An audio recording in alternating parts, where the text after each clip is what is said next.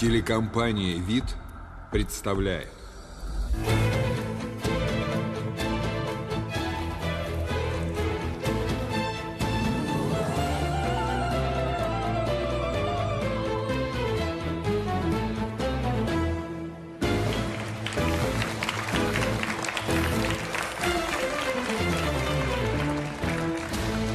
Здравствуйте. Добрый вечер. В эфире программа «Жди меня». Любой бедой проще справиться, когда рядом близкие. Поэтому мы делаем все возможное, чтобы родные люди воссоединялись. Надеюсь, и сегодня чья-то мечта наконец-то осуществится. Итак, мы начинаем.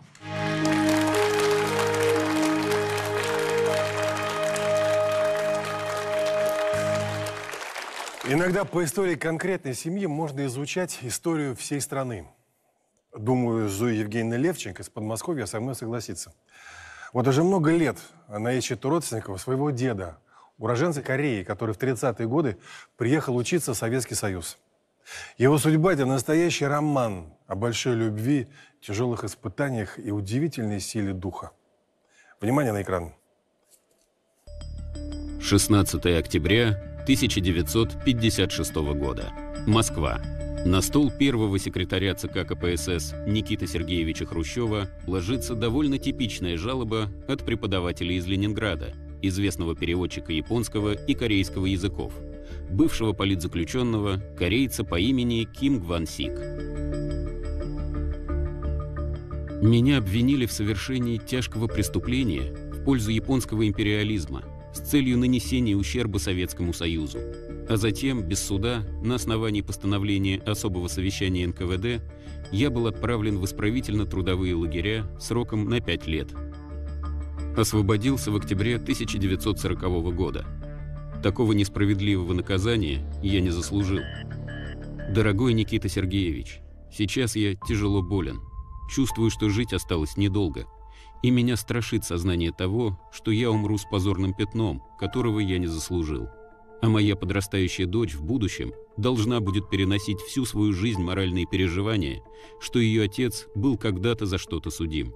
Прошу после тщательного разбора моего дела снять с меня клеймо позорного пятна и вернуть в ряды коммунистической партии. Подпись Ким Гван Сик. Эта жалоба была полностью удовлетворена. Переводчика реабилитировали. Но дочь Грета, про которую писал Ким Гван Сик, об этом так и не узнала. На тот момент мать увезла и спрятала девочку от несправедливо осужденного отца.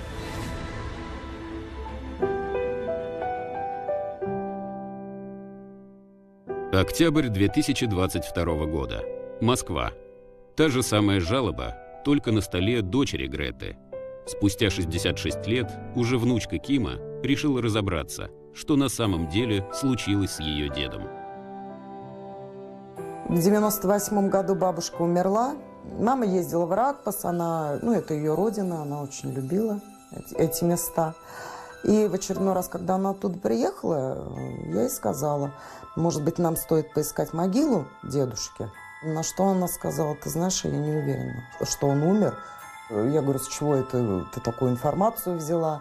Она сказала то, что бабушка ей когда-то сказала, то, что он тяжело заболел, у него был туберкулез легких, и климат коми СССР для него был неприемлем. И ему нужно было менять климат на более теплый. И в 1947 году он принял решение уехать. Уехать с семьей, с бабушкой, с мамой.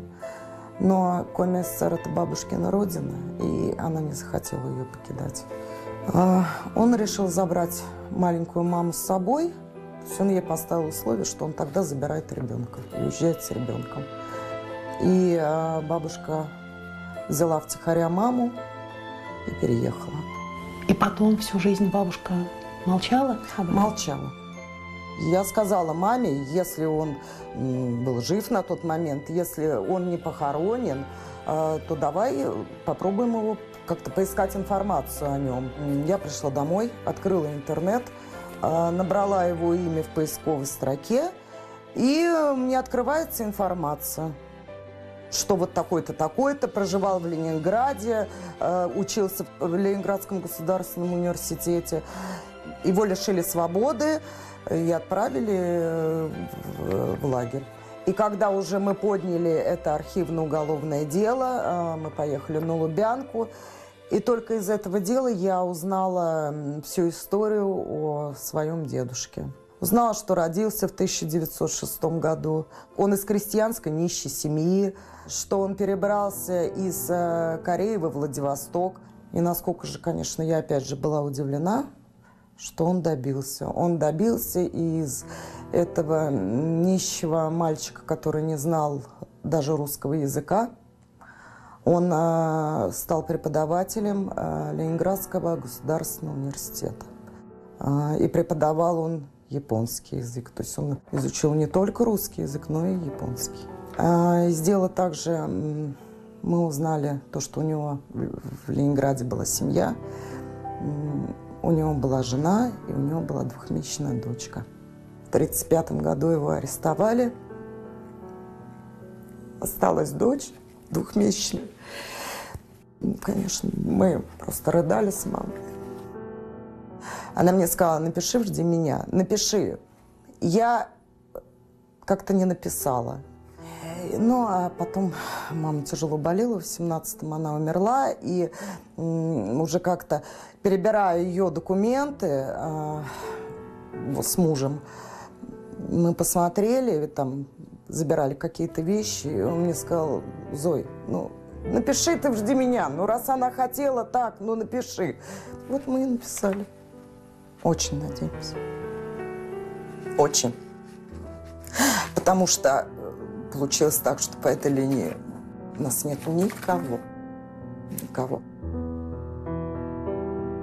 И по бабушкиной тоже, потому что бабушка тоже была репрессирована. Поэтому родственников с той стороны у нас тоже нет. То есть фактически я вообще одна. Ну, то есть мы жили я, мама и бабушка. Все, а теперь...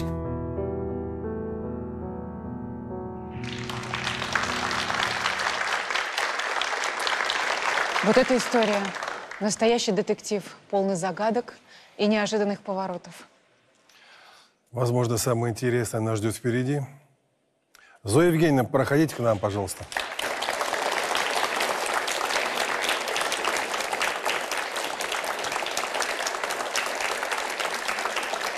Здравствуйте. Здравствуйте. Проходите, присаживайтесь сюда, пожалуйста.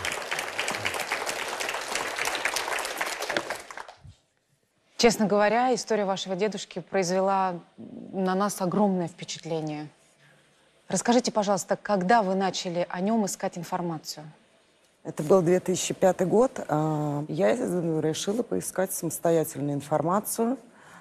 Открыла интернет, набрала его имя и очень удивилась, а, увидев его в словаре. А, словарь восточных языков репрессируемых востоковедов. Я написала составителю словаря. Может быть, он владеет еще какой-то информацией, хотела узнать. Он мне ответил, что информацией он не владеет, и то, что нужно запросить архивно-уголовное дело. Угу.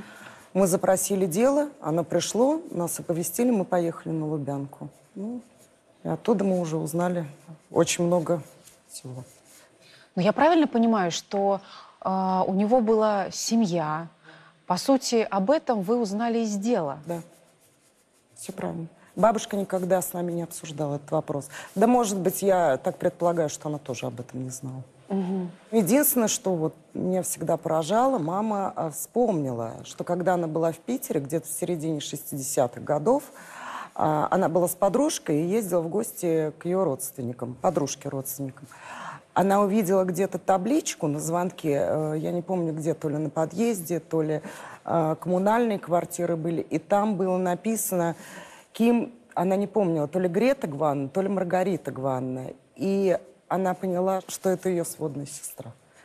Она и фамилия так редкая, решила. и отчество редкое, и отчество, конечно. да. Мы никогда... Вряд ли совпадение, да. конечно. Но она позвонила в квартиру, ей никто не открыл, и ей было некогда. Но она всю жизнь жила с той мыслью, как она мне сказала, что у него все-таки была семья в Ленинграде. То есть она больше не вернулась, не позвонила еще раз? Нет. Нет. Ой. Ну, потом я там родилась, еще что-то, замуж она вышла, ну, много каких других. Вам не хотелось съездить по этому адресу? Э, хотелось, конечно. Я сразу написала. А, нет, я написала по адресу, который мы нашли в уголовном деле, где его арестовали. Я написала, но улицы менялись с 1935 года до 2005 уже очень много произошло изменений. Ну и в результате в 2015 году мне уже пришло, что такие здесь не проживают. И, ну, в общем-то, и все. Вот. И произошел тупик. А за что, скажите, он был осужден, если знаете? Я так поняла, что за шпионаж и помощь японской разведки. А На самом деле. Нет, на самом деле, конечно, нет. Он на самом пишет, деле что он просто- несправедливо был осужден. Да, э, Но в вашей истории, я так понимаю, еще очень много белых пятен, да? да, да, в общем-то, вся она сплошное пятно, можно сказать. На многие вопросы вы получите ответы прямо сейчас. Давайте посмотрим сюжет. –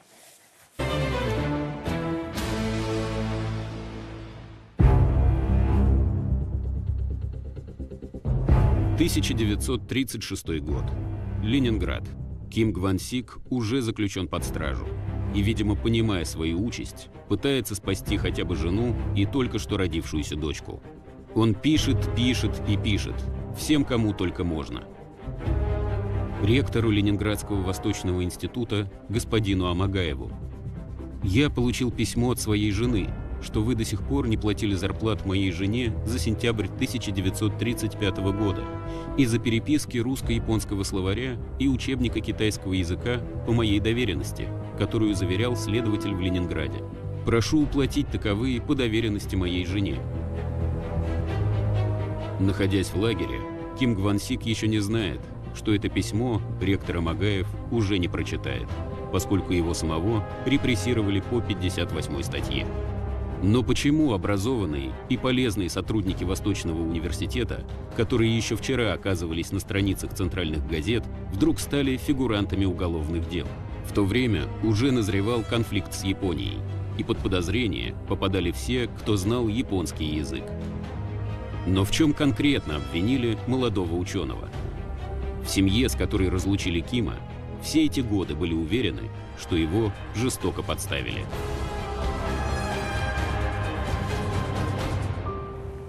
К большому нашему сожалению, изучив документы в архивах Санкт-Петербурга, мы предполагаем, что инициатором ареста был именно товарищ, который вместе с дедом выполнил большой перевод и должен был с ним поделить деньги.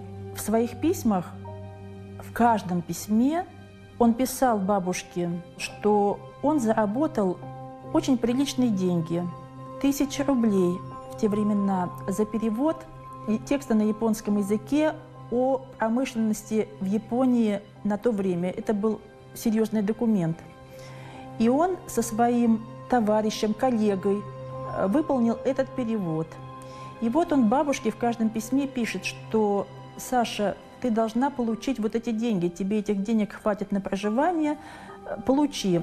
Причем он пишет так, что если ты не получила эти деньги, я обращусь в прокуратуру, и с этим разберутся, деньги тебе должны отдать. Но деньги бабушка так и не получила. Человек, который не вернул ей эти деньги, мы предполагаем, что он был заинтересован в том, что дед был арестован или не вернулся из лагеря. Я вам хочу зачитать одно из первых писем, которые прислал дед бабушке после ареста. «Добрый день, Саша, дорогая жена и милый мой друг. Саша, какая ужасная и страшная вещь разлука, в особенности после обоюдной счастливой супружеской жизни. Сколько я не твержу, половина моей жизни и счастья находится у тебя, наши сердца связаны. Они связаны неразрывными узами, которые я чувствую впервые в моей жизни. На этой фотографии моя бабушка Александра и мой дедушка Ким Гван Сик. Как их дорожки сошлись, нам трудно сказать, но они сошлись, и они составляли счастливую пару. 22 июля 1935 года у них рождается дочь, и называют ее Маргарита. Вот это подлинное свидетельство о мамином рождении. В графе «Отец» Ким Гван Сик. Это студенческий билет дедушки. Здесь ему 27 лет. Вот эта фотография моей бабушки с мамой на руках. Впереди одно счастье. Да вся жизнь впереди. С маленькой дочкой и любящим мужем. А вот это уже совсем другая фотография, с другим настроением. Потому что это уже 36-й год, дед уже арестован, и у бабушки совершенно несчастный взгляд. Она с ребенком на руках, зима. А вот эта фотография момента, когда ему был озвучен приговор. От бабушки отворачиваются все друзья, она пишет ему. Э, она оказывается в полной изоляции с новорожденным ребенком. И в январе 1936 года бабушка оформила развод с дедом, чтобы хоть как-то с маленькой дочерью остаться в Питере, не быть изгнанной из города. Вот, и вернулась на свою фамилию Васильева. Но дочери фамилия Ким была сохранена. И отчество у мамы Гвановна. Ким Маргарита Гвановна. Мама с этим отчеством, с восточной внешностью, прожила чудесную жизнь. Бабушка в 1941 году пошла на фронт, воевала в войсках ПВО, была ранена, демобилизована и больше никогда замуж не выходила. Я думаю, что бабушка любила вот этого чудесного Ким Гвансига всю оставшуюся жизнь. А вот здесь уже я с мамой, мы жили на улице Декабристов в центре Питера. На этой фотографии я с бабушкой. Моя бабушка Александра умерла 4 мая 1982 года. Мы с братом были уверены, что дед умер в лагере. И с этим мы прожили всю свою жизнь до последнего времени. Что вы почувствовали, когда увидели на сайте заявку от Зои? Да это, наверное, не объяснить. Буря чувств. Э, мы, я увидела ее поздно вечером. Всю ночь я не спала, я ее перечитывала много раз. И утром первое, что я сделала, бросилась к компьютеру и стала писать письмо о том, что я хочу встретиться с Зоей. Получается, что Зои, мы двоюродные сестры, по дедушке. Зоя, наверное, наши мамы с вами были бы счастливы, если бы они познакомились, потому что они были сестрами. И судя по их судьбе, по образованию, по тому, чему они занимались в жизни, они были очень похожи. Большое горе, что они не встретились и обе ушли из жизни. Но нам с вами Бог дал возможность все-таки встретиться и я думаю, что и дед был бы этому очень рад.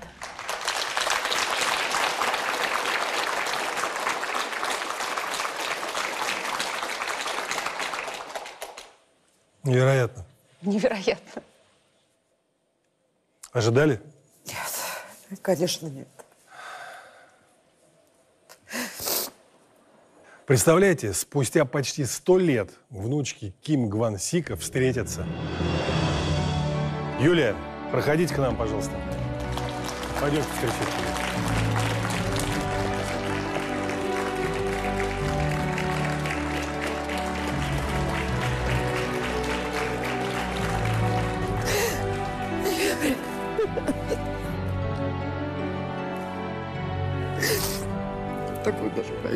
Могу. Чудо? Да, это, это чудо, это не то слово. И похожего на него.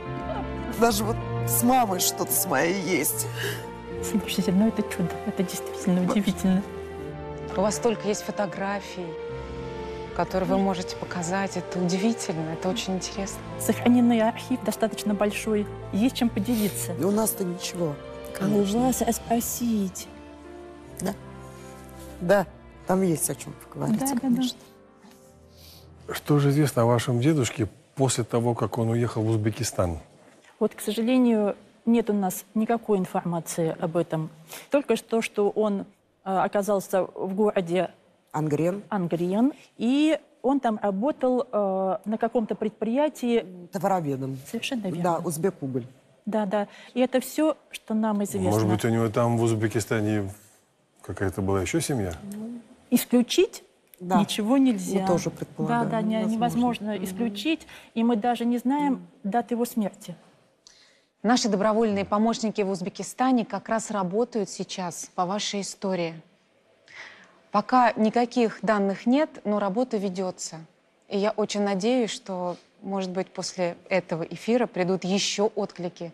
Может быть, у вас есть еще братья или сестры? Тоже надеемся. Будем очень рады. Да это даже Да. трудно представить. Да, Это было бы чудо, но чудеса случаются. случается. Мы это видели сегодня. Всего доброго, будьте Всего здоровы. доброго, будьте здоровы.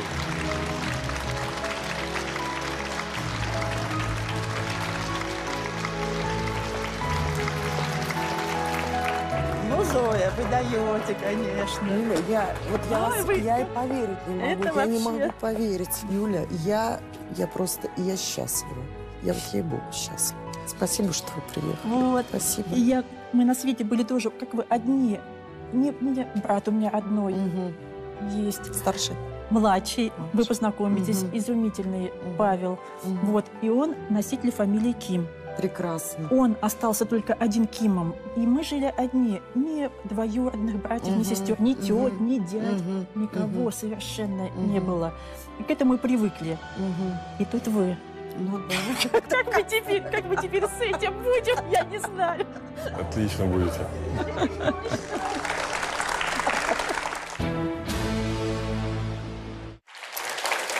В жизни бывает всякое. Бывают и безвыходные ситуации, и роковые ошибки. Мы, правда, стараемся понять каждого, кто к нам обратился. И даже если понять не получается, то все равно помочь. Я очень надеюсь, что благодаря нашим телезрителям удастся пролить свет и на следующую историю. Посмотрите, пожалуйста, внимательно.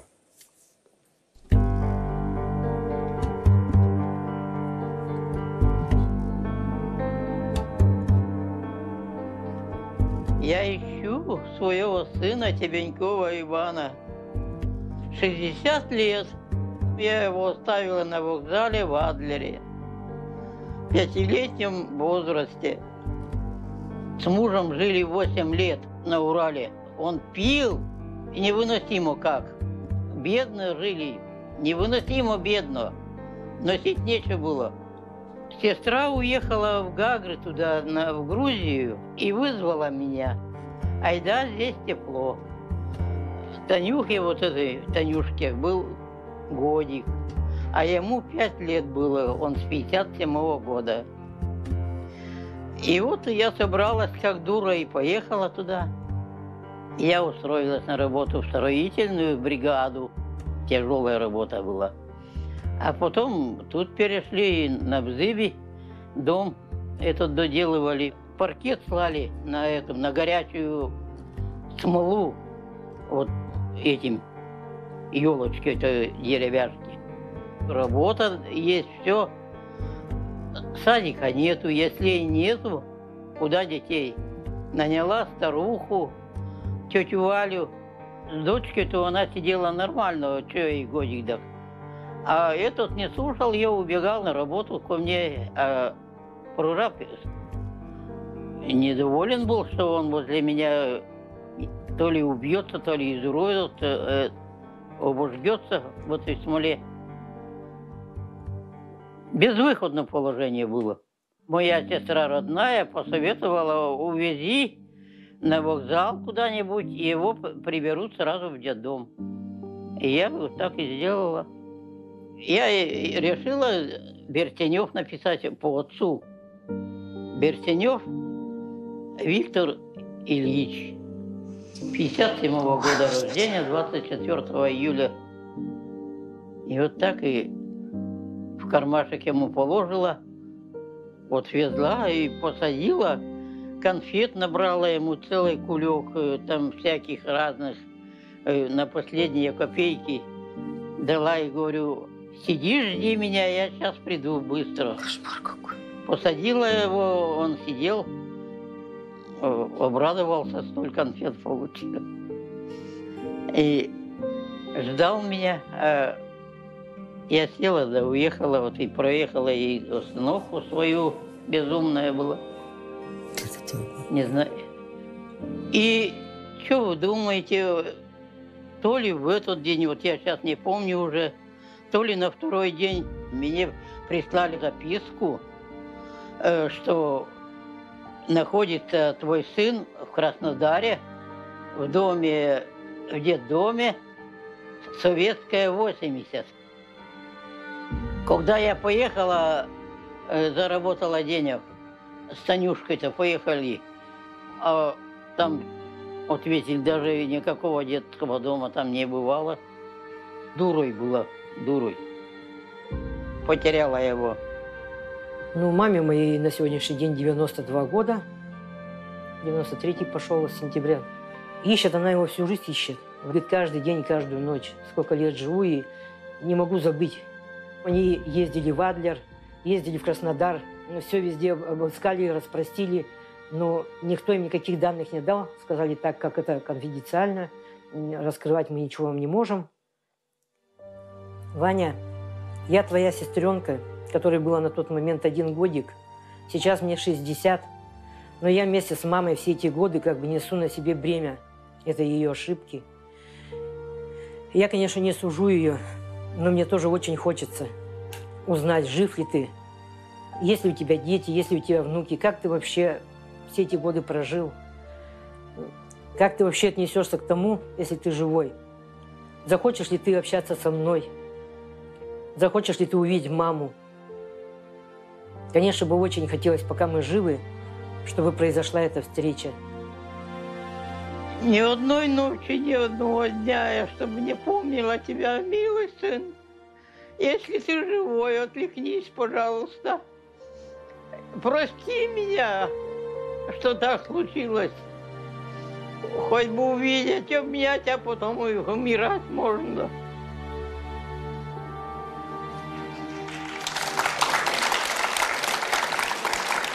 Уважаемые телезрители, если вы обладаете информацией о сыне Натальи Егоровны, незамедлительно свяжитесь с нашими редакторами. Мы будем вам очень признательны.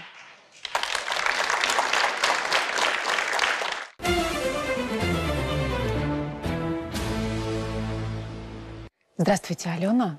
Здравствуйте. Расскажите, что вас привело к нам на программу?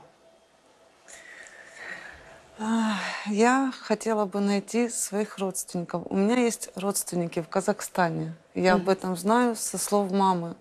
Но мама очень давно умерла. В 94 году где-то. И рано стала с братом. Сиротами мы рано стали. Воспитывались в интернате. Вот. Мама оставляла мне их адрес. Ну, я маленькая тогда была. Я еще читать, наверное, не умела. Я его потеряла. Я вам хочу кое-что показать. Вот эти письма писали ваши родственники, вашей бабушке, вашей маме. Посмотрите, пожалуйста.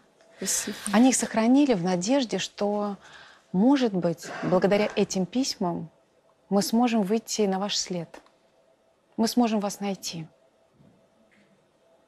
У вас действительно очень много родственников. И они очень-очень давно вас ищут. Ален, я пойду продолжать программу, а вы внимательно смотрите, что будет происходить в нашей студии. Я уверена, что у нас получится вас сегодня порадовать. Спасибо. До встречи. Спасибо.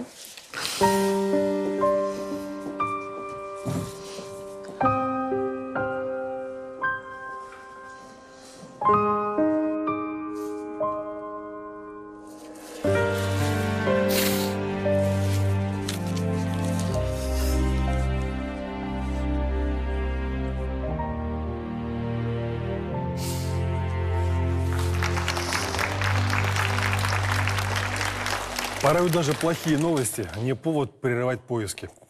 Так наша сегодняшняя гостья приехала к нам на передачу, несмотря на известие о смерти человека, которого она искала.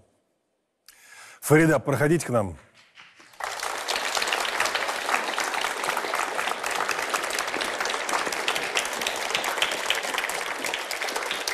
Здравствуйте, проходите, пожалуйста. Здравствуйте, Александр. Здравствуйте. Здравствуйте, Татьяна. Меня зовут Фарида. Я приехала из Тюмени. Два с половиной года тому назад я подала заявку на «Жди меня». Я разыскиваю своих племянниц Муртазину Венеру, Муртазину Светлану. Мы жили в Кустанайской области, Красудского района, Баканский совхоз в Казахстане. Мой старший брат Муртазин Амиржан, 40-го года рождения, он самый старший, у нас многодетная семья, 10 человек в семье, он у нас был самый старший. Был он женат, а, жена его, наша, вернее, сноха, приехала в Казахстан на поднятие целины к сестре своей и познакомилась с своим братом. Ну, они влюбились, поженились. У них родилась дочь Венера. В возрасте 33 лет он трагически погиб. О, А что случилось? Ну, его сбила машина. А невестка наша Людмила осталась беременной вторым ребенком. Она родом из Лисичанска. Когда все это случилось, она забрала свою дочь Венеру и уехала туда, в Лисичанск. А, И она уехала, но переписывалась с мамой, продолжалась переписка. Потом она устроилась на работу, на стройку Лисичанске. Случилось э, несчастный случай. Она упала и очень сильно повредилась. Хотя у нее там мама была в Лисичанске, но она написала моей маме, что приехала, и она ну, забрала девочек на время. То есть она родила еще одну девочку? Да, она родила, э, вот Светлану она родила, я точно помню, у нее день рождения 15 апреля 74 года. Мгм. Мама съездила, забрала девочек. Девочки у нас жили два года. Но она нам присылала посылочки своим деточкам и нам как бы. Потом э, она приехала, забрала их. А последний раз она приезжала в Казахстан в 1985 году выразить соболезнования моей маме. У нас в армии погиб самый младший сын, мой брат, в 1985 году. Она приезжала, уже Венере было ну, лет 15, наверное, а Светлане где-то 9-10 лет. А, Вот. И потом я переписывалась с Венерой. Э, У нее уже родилась девочка Алена. Она присылала фотографию мне. Окончательно мы потерялись распад Союза, потому что брат в конце 90-х годов вызывал э, невестку на переговоры. Ну, в то время же телеграммой вызывали. И ответ пришел, что абонент выбыл, умер. И вот с того времени мы, в общем, потеряли связь. Вот такая история. Знаете, мне очень жаль, что мне придется сообщить вам плохую новость. Ни Венеры, ни Светланы уже нет в живых.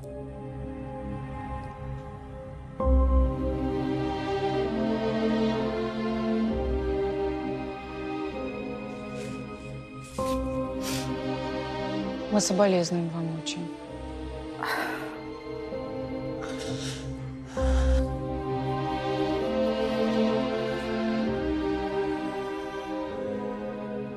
Фарида, мы вас пригласили сегодня, потому что э, вас ищет один человек, для которого вы очень важны. Это Меня- Алена. Алена – дочка Венеры. Да, да, у нее было. У нее очень непростая судьба. э, Ей очень нужны родные. Посмотрим сюжет.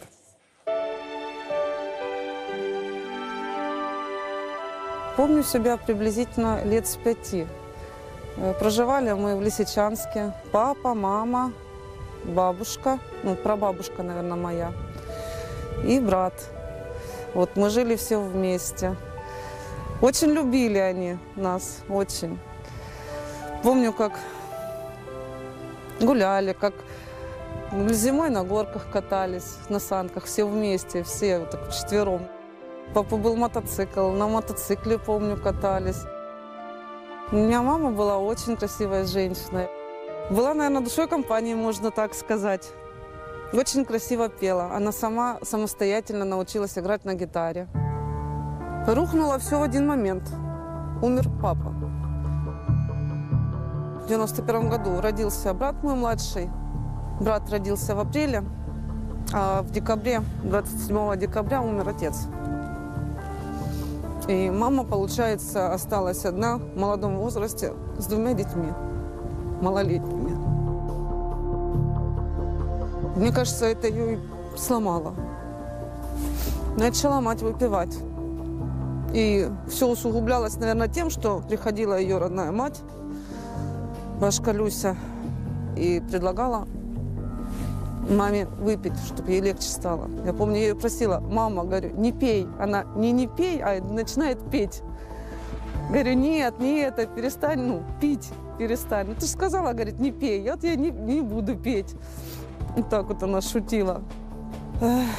Потом, наверное, мама очень сильно пила. Доходила уже до того, что могла оставить нас одних. Мы жили на первом этаже, могла оставить нас, закрыть и на несколько дней просто пропасть.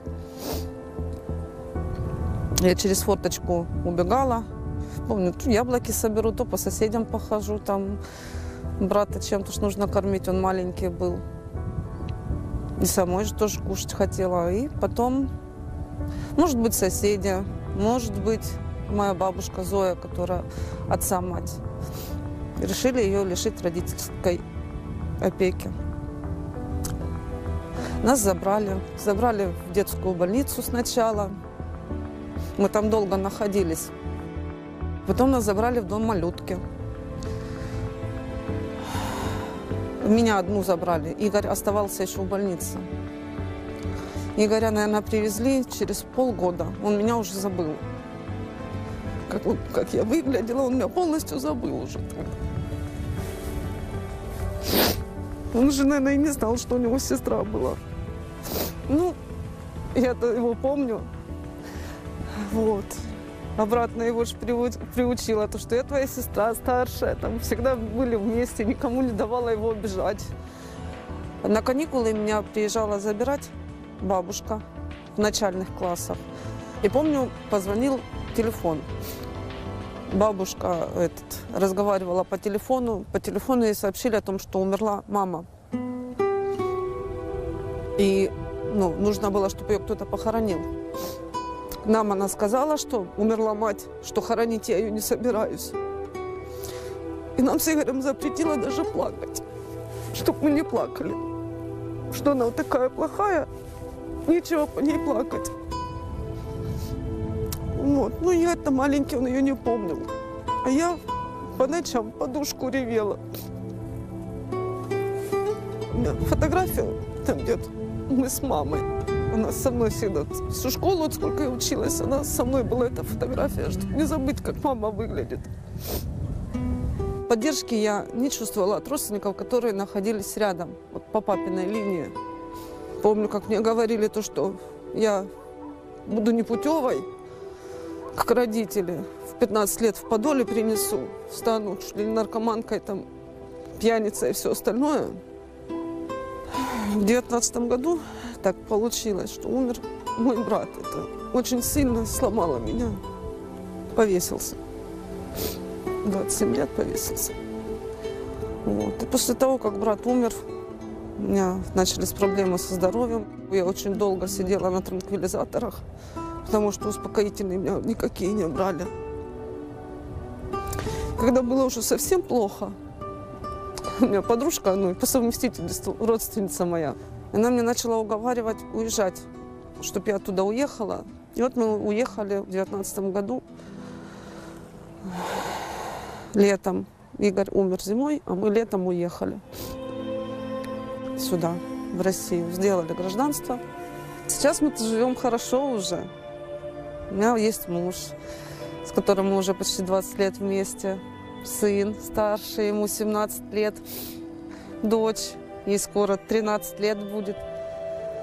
Мама мне э, рассказывала о том, что У нее есть родственники в Казахстане. Много. Тети, дяди, она говорила. Я задавалась вопросом, почему мама, оказавшись в такой ситуации, почему она не написала в Казахстан. Я вот до сих пор этого не понимаю. Почему так? Я не знаю, может быть, стеснялась. Если бы она обратилась, скорее всего, ей бы помогли. Скорее всего, ее бы забрали с детьми. Или я не знаю как.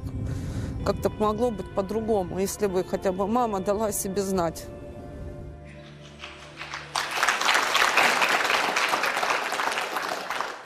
Конечно. И помогли бы, их забрали. Я не сомневаюсь. Ну вот Алене так не хватает родных людей. Ей очень не хватает мамы. Ей очень не хватает родственников со стороны мамы. А их было очень много и есть.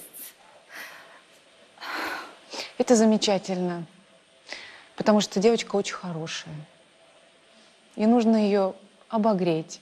Нужно дать ей то тепло, которого у нее не было с самого детства. Да. Она приехала, она здесь. Ален, выходите к нам.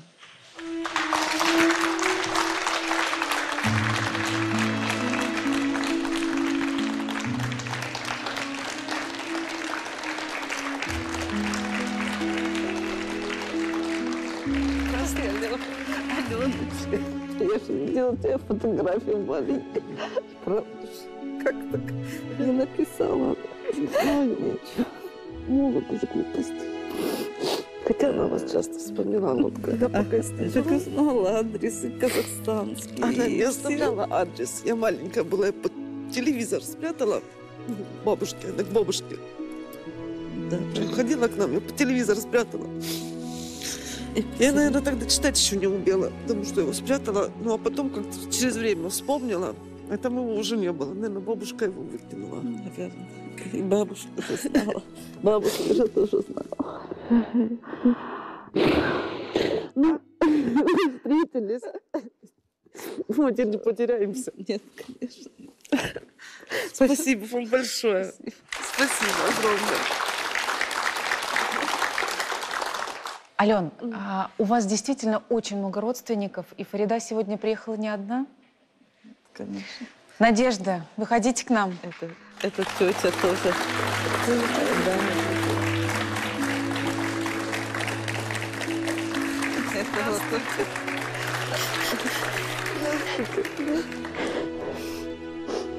Это вот хотела не будет. Не было никого, хотела. Теперь мы не потеряемся. Дай Бог, так и будет. Пойдемте, девушки, присядем на диванчик.